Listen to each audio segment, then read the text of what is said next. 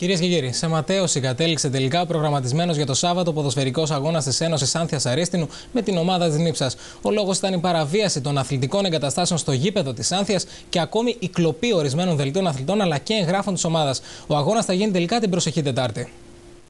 Έκπληκτοι υπεύθυνοι της ομάδας Ένωση Άνθιας Αριστίνου ανακάλυψαν το πρωί του Σαββάτου ότι τα γραφεία της ομάδας στο γήπεδο της Άνθιας είχαν παραβιαστεί.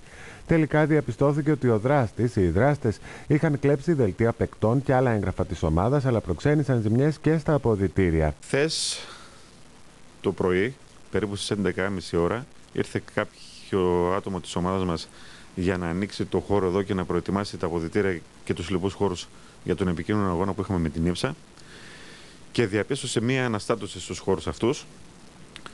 Αμέσως ε, ειδοποίησε τον πρόεδρο της ομάδας και εμένα τον υποφαινόμενο και κάποιους άλλους ανθρώπους δικούς μας.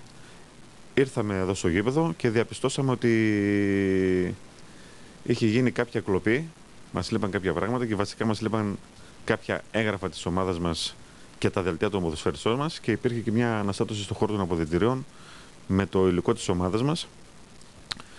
Αμέσως η ενέργειά μας ήταν να καλέσουμε την αστυνομία για να καταγράψει το γεγονός.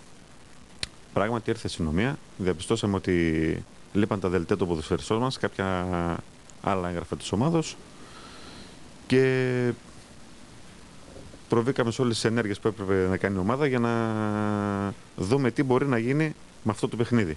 Το αποτέλεσμα ήταν να ματαιωθεί ο αγώνας της ομάδας με την ύψα που ήταν προγραμματισμένος για το Σάββατο. Ωστόσο, έγιναν όλες οι απαραίτητες ενέργειες, ενημερώθηκαν η αστυνομία, η ΕΠΣ και τελικά ορίστηκε νέα ημερομηνία διεξαγωγής του αγώνα που είναι η Τετάρτη 29 Ιανουαρίου. Το παιχνίδι ματαιώθηκε βεβαίως εμείς για να προστατεύσουμε το κύρος της ομάδας μας και για να μην υπάρχουν οποιαδήποτε σύννεφα για ό,τι έχει να κάνει σε σχέση με την ομάδα και παρουσία ενός εκπροσώπου της ε, ΕΠΣΕΒΡΟ που ήρθε εδώ για να δει και αυτός τι ακριβώς έγινε, ζητήσαμε να γίνει το παιχνίδι με ποια έννοια.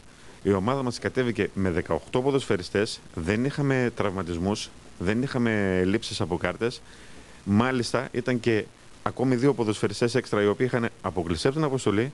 Ζητήσαμε λοιπόν να φωτογραφηθούν οι παίχτε μας, να φωτογραφηθούν με τις φανέλες που θα φορούσαν και που θα αγωνιζόταν και έπειτα να γινόταν μια αντιπαραβολή με το αρχείο της ΕΠΣ στο οποίο υπάρχουν τα δελτία των ποδοσφαιριστών μας ούτως ώστε να μην υπάρχει κάποιο σύννεφο σε σχέση με ότι μπορεί να έχει κάτι, κάποια σχέση με εμάς το γεγονός. Βέβαια, επειδή το ποδόσφαιρο διακατέχεται από κανονισμούς, κανόνες και ήταν και τεχνικά λίγο αδύνατο αυτό να γίνει, το μάτσα αναβλήθηκε